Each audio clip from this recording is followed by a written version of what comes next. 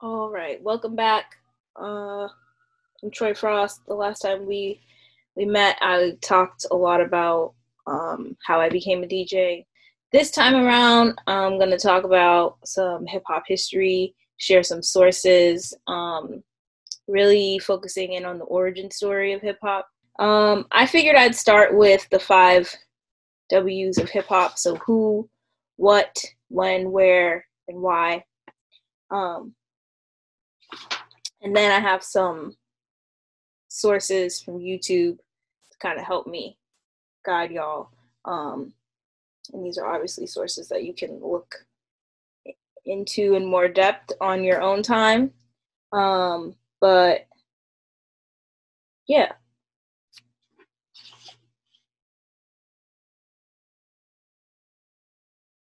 So I guess we could start with like the the elements of hip hop. Um, there are the way I like to think about it is that there are five pillars.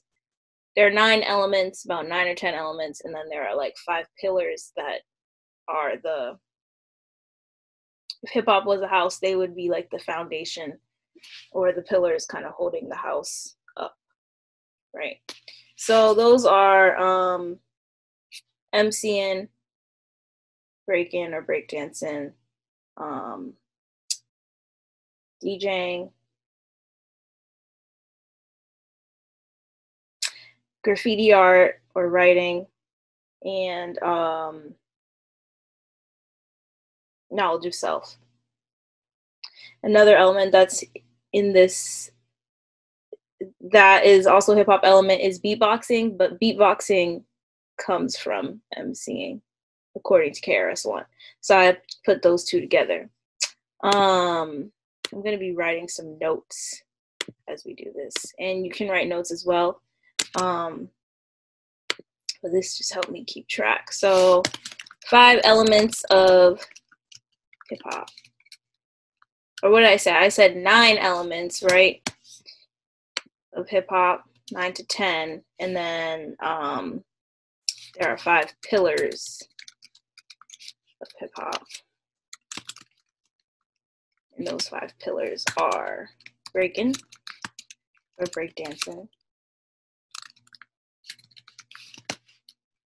MCing or rapping. Um, let's do slashes instead. I'm gonna play show a, um I guess I'll play the audio. Uh an interview with KRS-One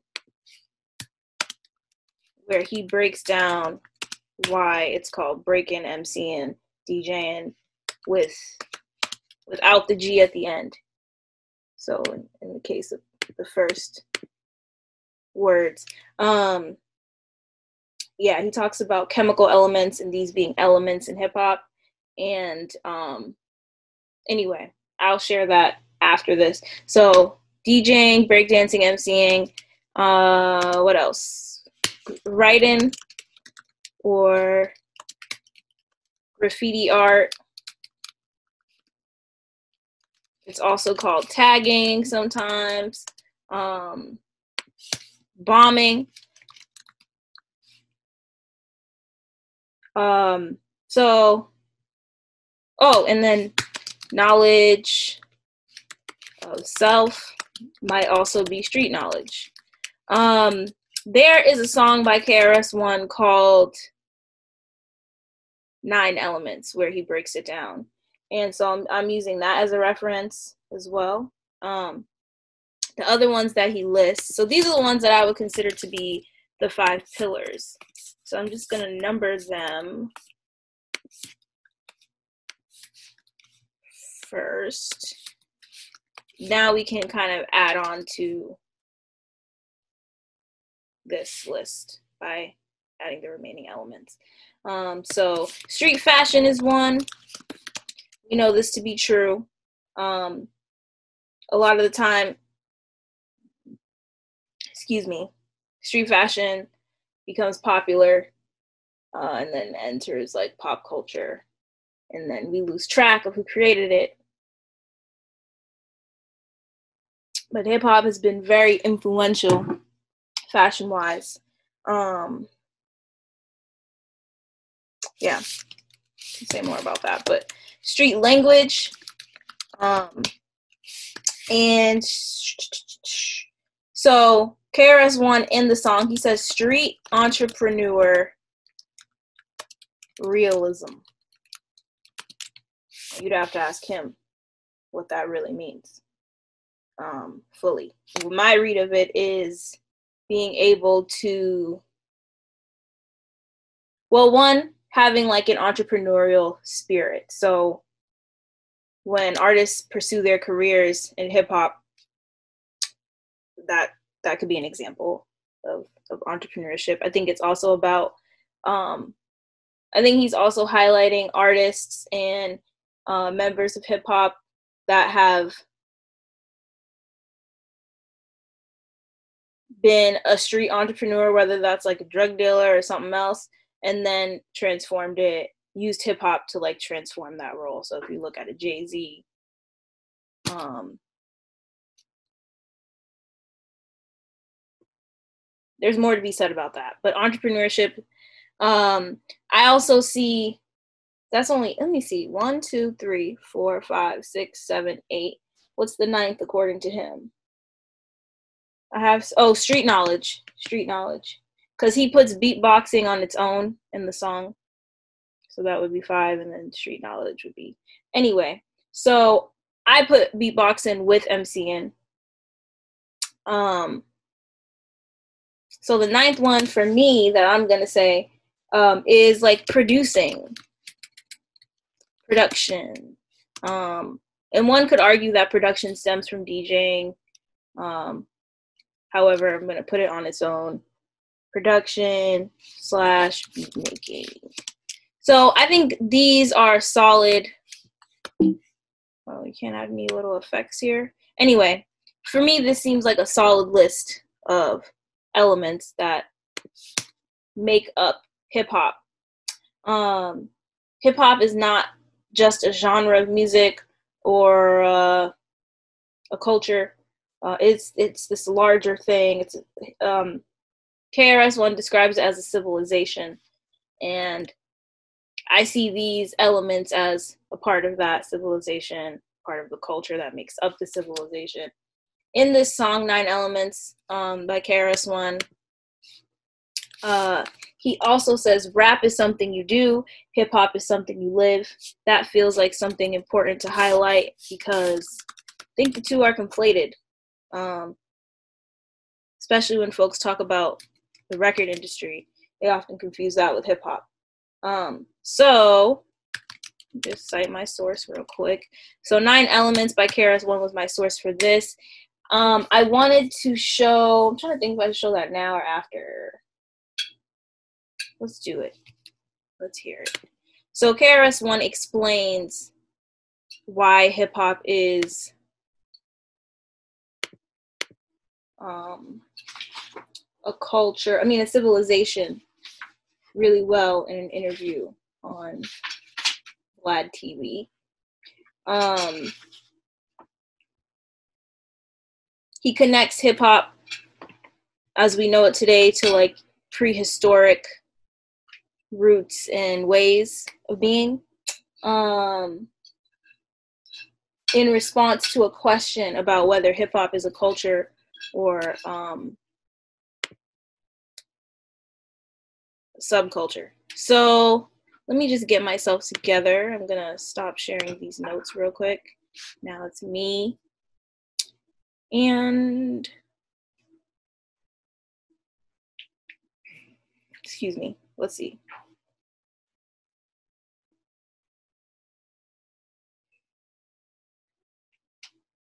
There we go. All right. So, hey, where's the internet? trying to share this, but let's see.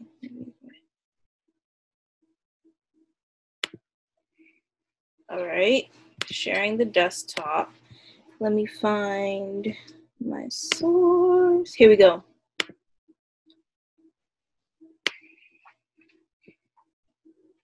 Oh man, wrong Wrong one. All right, here we go. Should not have all these tabs open. Hope all y'all are doing well, taking care of yourself in these times. Um, hopefully, you leave this class having learned something new. Whoa, chaotic picture. So let's start at the beginning. um, again, this source is YouTube, Vlad TV, um, and he gets into some truths. So let's see here. All right. Yeah. So again, the question that was asked to him is this: In your opinion, is it is hip hop a culture or a subculture? Um, and he breaks it down. First of all, hip hop is not just a culture; it's a new civilization. Okay, hip hop is one of the oldest cultures on earth. It is the first thing that human beings do when they come into existence. Breaking, MCing, graffiti art, DJing. Breaking is dance. So I'm gonna pause it. Well, I'm gonna keep. I'm gonna pause it. I'm gonna go back to the notes so I can kind of write some of the important things that he's saying, and then while I'm doing that, y'all can continue to listen to what he's saying because he's saying some real stuff. Um, so let me back. Graffiti art, DJ, breaking is dance, the earliest form of human communication anywhere. So let's rewind. When they just on Earth, it is the first thing that human beings do when they come into existence. Breaking, MCing, graffiti art, DJing. Breaking is dance. The earliest form of human communication anywhere is dance. How you move. Move according to nature, move according to the fish, the lions, the gazelles, the trees. This is what hominin humans did. Yeah. This is early human Neanderthals, uh, Rhodesia man, uh, Australopithecus, uh, early hominin human. The reason most sociologists don't regard hip hop as a culture is because they don't respect you. That's the issue, or me. They don't respect us as people. Any culture, you could say the fans that went to see the Miami Heat play basketball, that's a culture. um, politics in uh, Washington, D.C., I guess, where I'm from. That's a culture. Now, those will be called subcultures, meaning you have blacks, whites, Asians, indigenous cultures all coming together to say, uh, uh, be online. Everybody's online. So there's an online culture. There's an online subculture. Anytime groups of humans come together for one thing, they form culture. Now that's the textbook. I don't know the sociologists that can't see that. They're ignorant, not us. They are. That's a subculture. Hip hop is a civilization. Now let me go back. Breaking. First things that human beings do is dance. Next thing human beings do is utter. This is MCing, not language. This is before language. This is before organized language, before all that. Uh, uh, uh, uh. That is called MCing. Sociologists only know rap, which is the commercial version of MCing. Their knowledge is small, not ours. We are MCs, E M C E E I N. Spelled just like that. E M C E I N. And the reason we spell it like that and DJing. So here's what I was talking about before about why it's spelled this way. Um.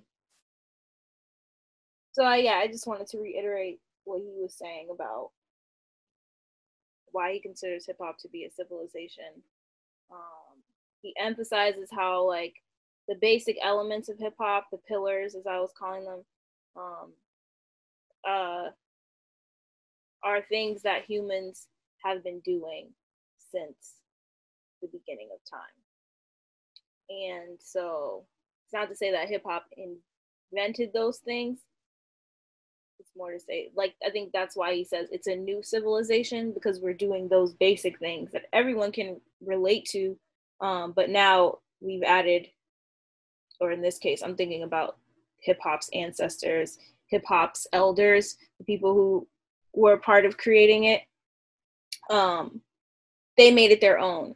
So anyway, um, gonna play this. He's gonna explain why um, the names are written as they are, or or called. It's not like just a slang thing, and then we can get into get back on track with the five W's of like who. This is kind of naming what we're at. We're at what right now. So what is hip hop? Those elements that we listed, as well as a civilization. So. And writing like that is because we call these uh, expressions of ours elements. These are the elements. Breaking, seeing graffiti, or DJing, these are elements. So whenever you write elements, at least the chemical society of the world writes their elements as penicillin, mucin. Um, uh, it goes on and on with the way you spell the way you spell chemical elements. Now, most people look at breaking MCing and graffiti art and as oh, just some black kids dancing. That's their prejudice. If we just look at the facts, we call our expression elements. We spell them as elements, not slang language, MCing, E M C E E I N G. So because we say MCing, we drop the G. Uh uh-uh. uh We purposely leave the G off because the G doesn't exist. We're talking about elements. The elements are what we're talking about. Now let's come back. Breaking. First things human do, dance. Second things human do, utter. Beatboxing. Music with your body. That's ancient, ancient, ancient. Before, go to the great Buddha in Asia the, the sign language, the hand movements of the Buddha, each have significant. That part's cool too, I'm gonna skip it. And used our hands. That's MCing and beatboxing. Beatboxing is a form of MCing. Graffiti art. Today it's called graffiti art.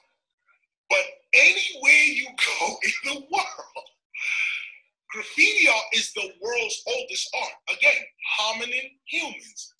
In Toulouse, France, they found stenciled human hands, which they call graffiti, by the way.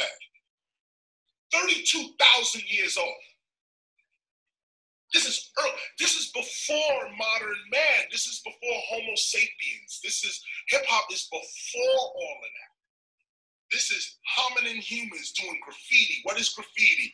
my self expression in art on a wall. The earliest form of graffiti, berry juice in the mouth, blow it onto the cave wall so you see my hand and check it out. They blew it. They didn't draw, they didn't pick up a, a pen and write this stuff. No. Before he continues, in I'm pretty sure it's in this video that he says this, but I know it's not at this part, so I want to say it now. When he's talking about the hand on the wall right?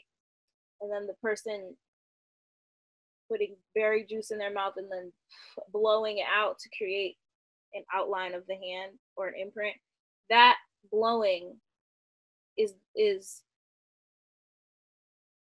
the equivalent to spray paint, right? So when you blow spray when you use spray paint when making graffiti, it's blowing out. So wanted to point that out for you.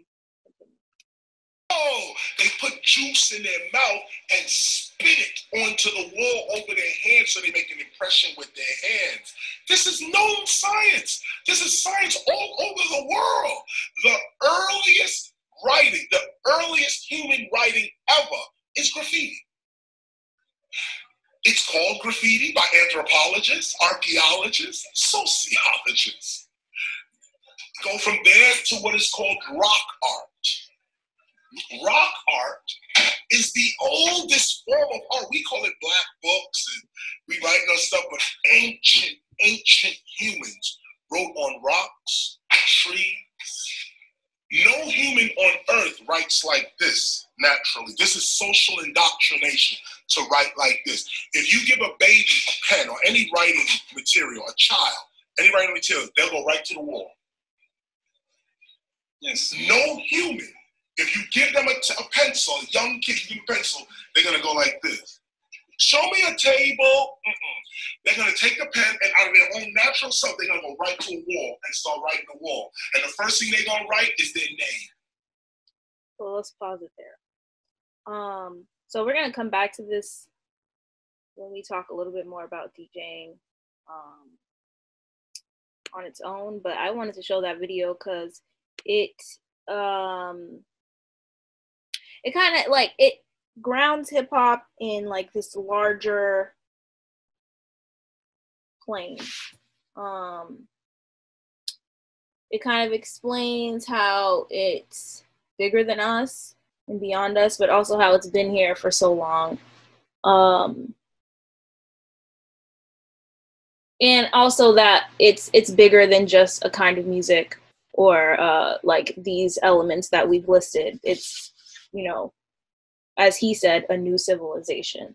So he he he. I feel like he takes it to like the global aspect. In the same video, he talks about how hip hop is a um May 16, 2001, hip hop was declared an international culture with the United Nations. And so he talks about that in there. So for me, that really shows how hip hop hip hop is global and how um you know it's it's more than a culture.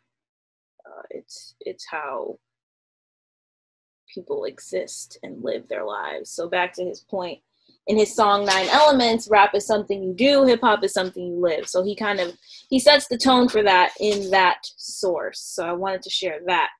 So that I feel like like I said, that's like the what, right, of hip hop. Hip hop is a civilization, it's a culture. It's those elements that we listed here. Cool. So um that's who. I mean, that's what, excuse me, who. So he kind of get got into who when he was like, oh, it's just some black kids dancing. So we could use that as a, a jumping off point. So hip hop was created um, where in New York City um, by uh, black and brown people. Um, so African Americans, Black people from the Caribbean, Puerto Rican folks, um, people who were immigrants.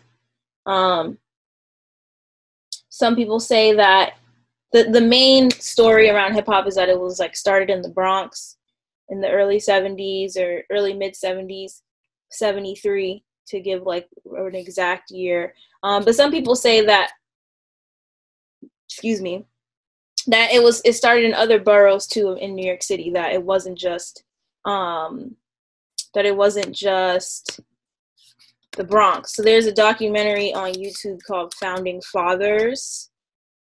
And second. Look. Yeah, Founding Fathers, the untold story of hip hop. So let me put that in my notes. If I can. Where are you? I've never used this thing before. I should have practiced more before I did. Anyway. So anyway, I'm just gonna put that there. But um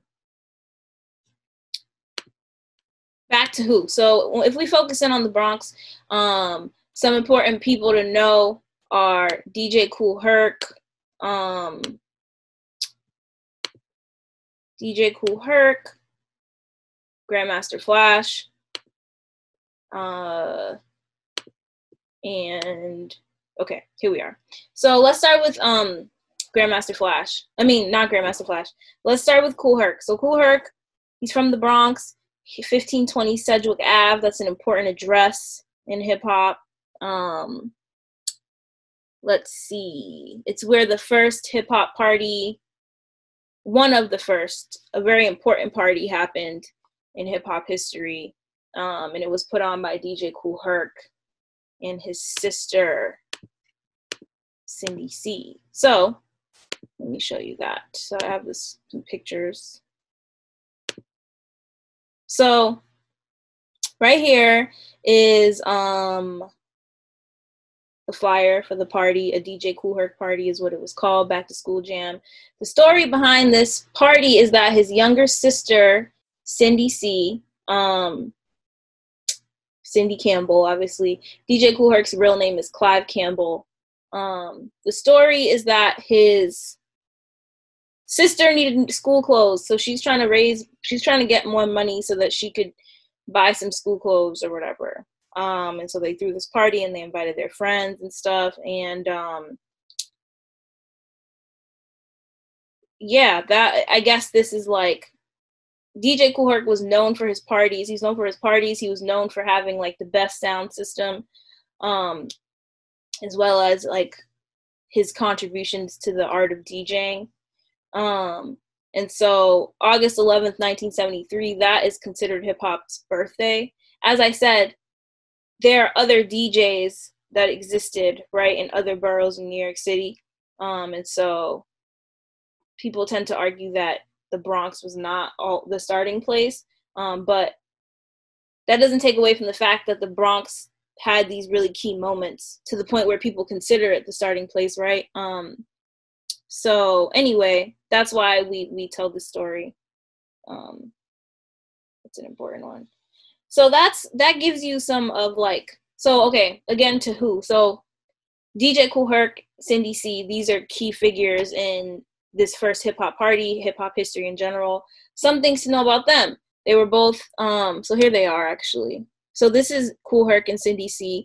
Their parent they they migrated here from jamaica. So they were immigrants as i was saying before. Um they're black people obviously and they lived in this is where they lived 1520 Sedgwick Ave. So these are working class poor poor people that were um, working class, poor, black, brown, immigrant folks in New York City, and in this case the Bronx that were a part of like creating hip hop and were in, involved. They were involved in like its formation, its formational, foundational years. So this is 1520 Sedgwick Ave. They had their party in the recreation room of their apartment building, and um, yeah, they paid. Think I think Cindy C said in a video that it was twenty five dollars to rent the space. Um, you know, twenty five cents for ladies, fifty cents for fellas you know it's on a little index card like just would like for you to take all of that in in terms of like how um organic it was. It wasn't this big thing. It was you know it was just like them getting together. Um so yeah that's like the early um it, that was like an important moment in hip hop. So that covers like who, some of who, because there's so many other people, not going to be able to get to everyone, but that covers who some of who, and then it also covers where, so New York City, the Bronx, um, and now that with KRS One's uh, piece in mind, we could say the whole world, but at its very start, it started in New York City. Um, and then what and when we have when 1973 so the another source that i'm going to use is another interview by vlad tv uh, i didn't think i'd be using so many of his sources ever but Got some good ones. He has an interview with Grandmaster Caz where he kind of like sets in this interview he sets the tone for like what life was like. Um not even what life was like, but what what uh the Bronx was like in the 70s when hip hop was first starting and like what was the norm. So let me get my notes on that first and I, I wanted to highlight this because I feel like in the way that KRS One kind of gave us a global, larger uh, setup, Grandmaster Caz in this interview kind of sets up a um,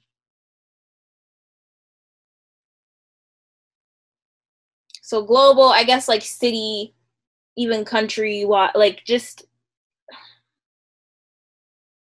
anyway, it, he just kind of like breaks down and like gives image and some important facts about like what the the foundational time for hip hop was like.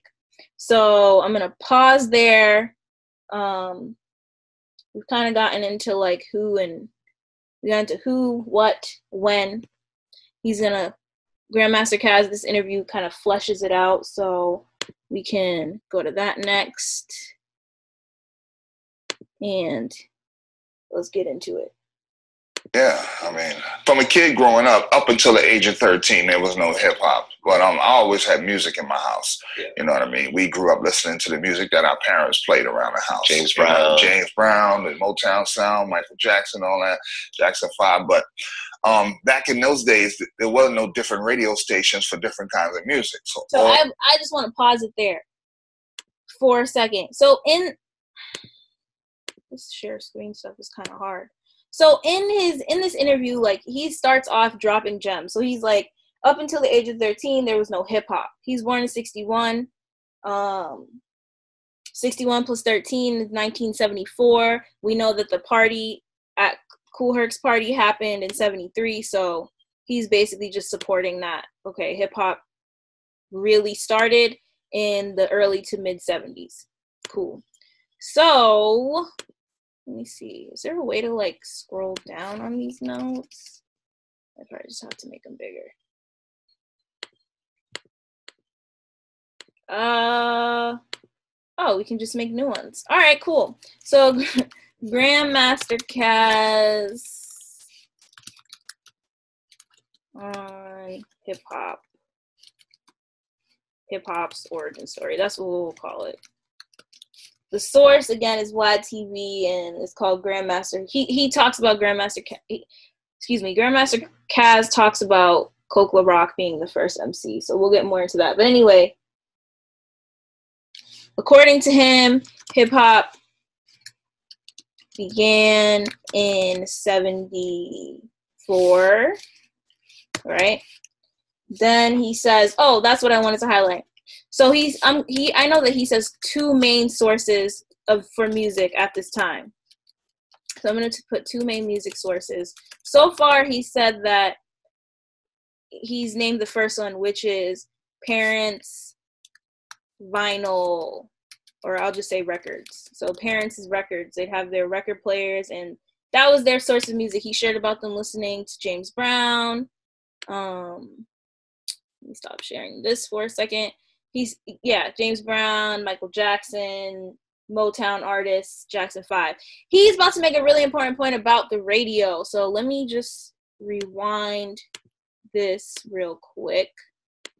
Just a little bit. He so the second source that he he says is the radio, but he makes an an important point about what the radio was like during this time. So listen for that five, but um, back in those days, there wasn't no different radio stations for different kinds of music. So all the music was played on one radio station. So 77 WABC every morning. That's what I got up listening to. So not only did I hear the Motown and the R&B and the soul and funk, I also heard the Barry Manilow's, the you know, the Seals and Crofts, the Three Dog Night, Chicago, America, all that. You know what I mean? So I'm just as influenced by that music as I am by the soul and R&B. So by the time hip hop came along, it was just about fusing those influences together.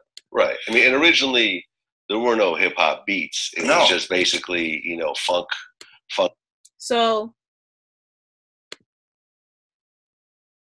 parent. So he's yeah. So he talks about the radio. He says that there were there wasn't different stations for different types of music. So he was getting all the music all kinds of music versus excuse me he was getting all kinds of music on one station. So he's hearing hip hop and funk or not hip hop because it didn't exist yet but he's hearing like soul funk neo soul right um as well as pop music and country i guess like all these other genres. He he'll go he shares more about like who those people are but um i feel like that's an important thing to note let me actually put it in my notes. This is much harder than it needs to be. I should have like tried to. Why can't I add to it? It's okay. I'm just gonna create a new text box under.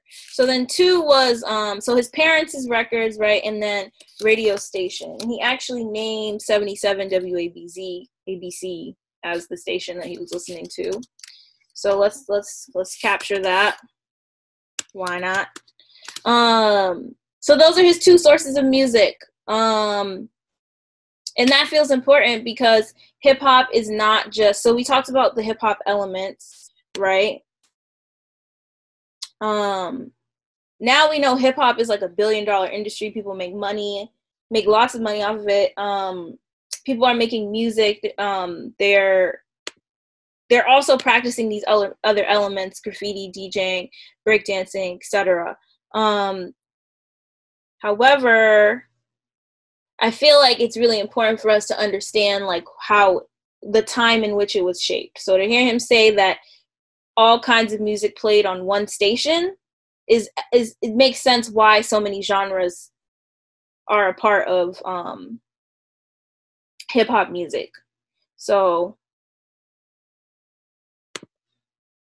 let's get back to it. Funk records. Hip hop hip hop beats came from the get down part of of a, of a record. Yeah. All right. We call them the break now. The breaks. But back then it was the get down part, and that was yeah. the real funky part of the song. Usually the drum the drum break. And- All right. Um. So yeah. Now he's getting into the next. So okay. So so far he's he's kind of set the tone for like what how they listen to music and now he's going to get into like some of the elements. So this next part that he's talking about is really important. He mentioned the get down part of the song. Um so i mean and originally there see. were no hip hop beats. It no. was just basically you know funk funk records Hip hop hip hop beats came from the get down part of, of, a, of a record. Yeah. All right. We call them the break now. The breaks. But back then it was the get down part. And that was yeah. the real funky part of the song. Usually the drum the drum break. And that's what we came up on. So I mean, when we started trying to make our own music, we made it from music we were familiar with, but we just took the part of it that really was the meat of the music, and that was the big the breaks or the get down part you know, originally, from what I understand, um, when the the DJ was playing the breaks, certain kids started dancing, and it was known as break boys, and then shortened to b boys. yeah, that, is that accurate? Yeah, pretty much. I mean, what happened was is that th- those get down parts sometimes they didn't come at the beginning of the song. So you would let the song play and everybody would just mill around and stuff. And then when the get down part get ready to come, that's when the dancers come to the forefront, to the middle.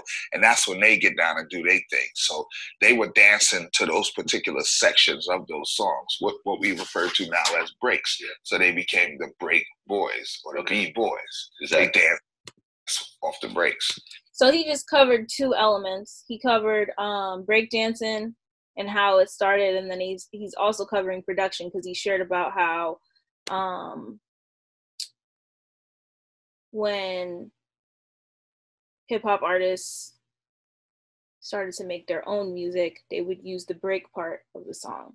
He's also starting to talk a little bit about DJing because, um, you know, Kool Herc and Grandmaster Flash both. Well, let's start with Kool Herc.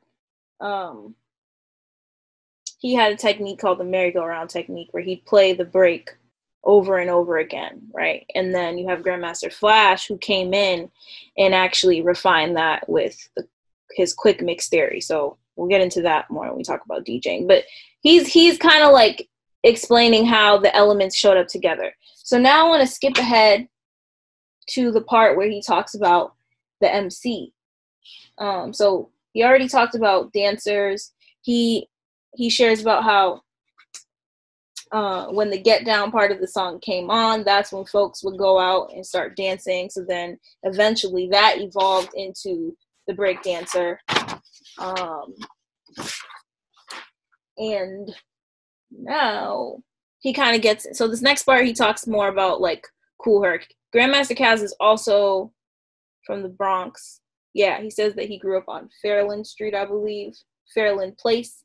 But anyway, he's gonna share about his relationship with Kool Herc, and we'll get a little more information about um, Kool Herc's influence and uh, what he was known for at this time. Met him personally, boys or the Okay. B boy. Ah, when I met him personally, Or, or, or when, you- you was I aware of him? I aware was of him? aware of him back in '73. Back in, I lived up the street from Kool Herc. Okay. Uh, the next block up the hill from Sedgwick Avenue is Phelan Place, and that's the that's the street that I lived on. So I was too young to go to parties um, when Herc first started throwing parties, but I lived up the block, so all the older kids from the block always was going down to Sedgwick Avenue to Herc parties.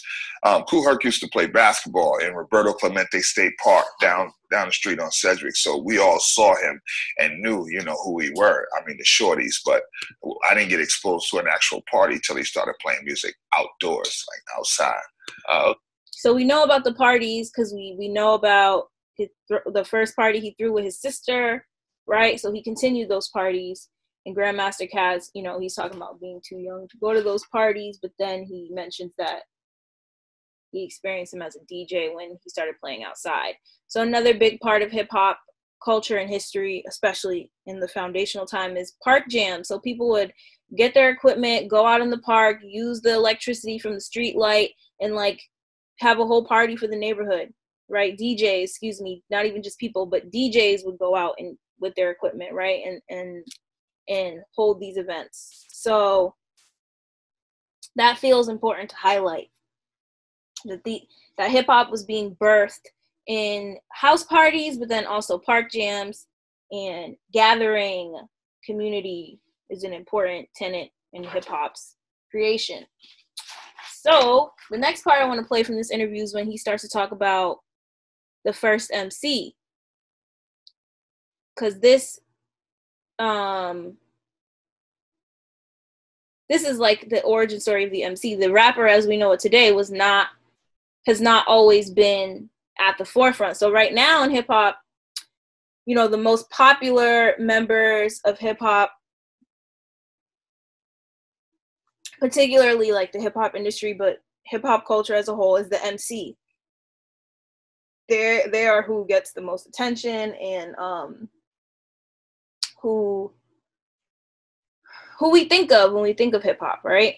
Um and so the MC though when they started out, it, th- that was just the person that kind of spoke on the mic while the DJ played. So I'm going to let him explain it better than I will. Um rappers before. There was just DJs that would get on the mic. Exactly.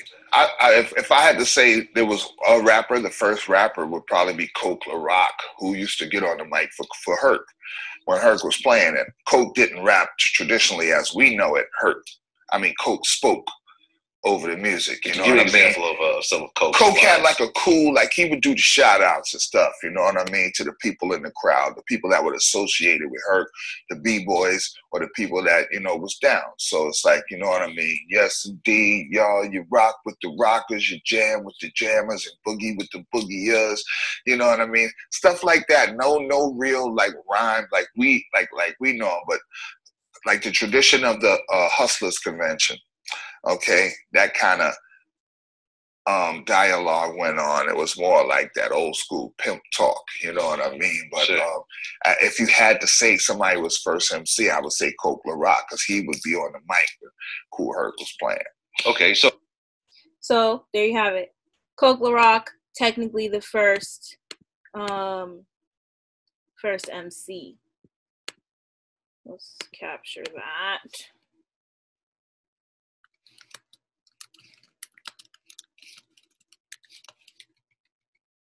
So eh, so MCing, right? We know that MCing was rhyming on the mic. It was also giving shout outs. Um, and when he was and when he shared, it wasn't even like a full rhyme. It was like Grandmaster Caz shares this, but then also in um, a book. It's a children's book called When the Beat Was Born by uh let's see what's his name because I have it in this. Oh, come on. I thought I did. Okay, whatever. The book is called When the Beat Was here it is. When the Beat Was Born by Laban Carrick Hill. Anyway, in this book as well, they talk about they were giving shout outs. They do like short little rhymes, but not like a full song or 16 bars, right? As we know. Anyway, uh, a verse to be. We, we know that's a verse. But anyway, they just do like short rhymes, um, announcements like, oh, so and so's car is about to get towed. Or uh, again, shout outs like shouting out their friends and whoever was down with them and shouting out the B boys, um, etc. He also talked about there being influence from like pimp culture, which is interesting. Uh, so anyway, in that children's book though, when the beat goes on, they talk about how that the the emceeing comes from toasting, which I guess the way they explain it is that it was a tradition in Jamaica, Jamaican culture to like give a toast, right, or a shout out. Um so just want to like make that connection clear.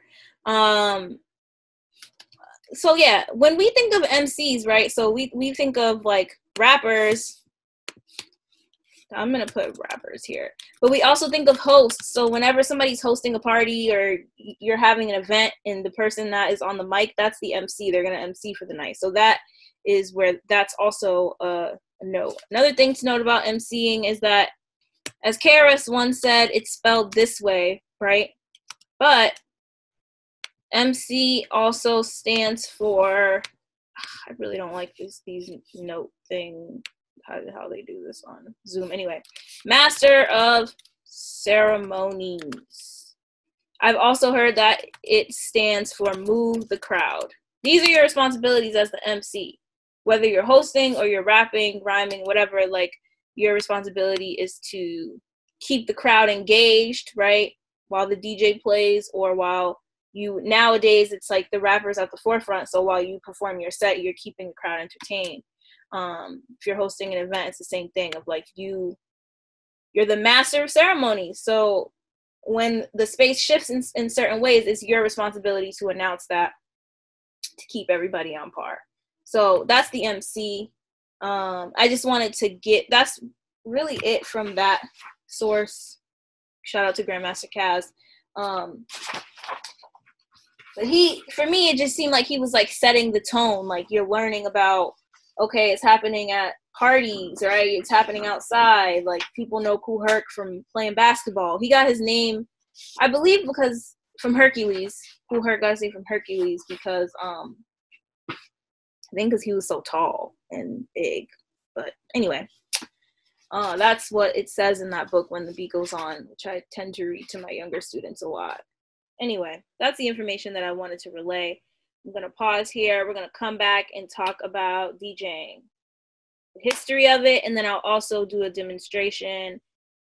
I'll show some my mix, and then I'll do a demonstration of me correcting some parts of it. So